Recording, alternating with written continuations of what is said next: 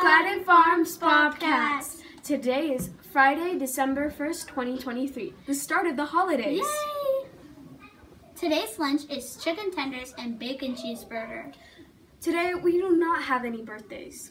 Today's Friday quote is Your uniqueness is what makes you shine.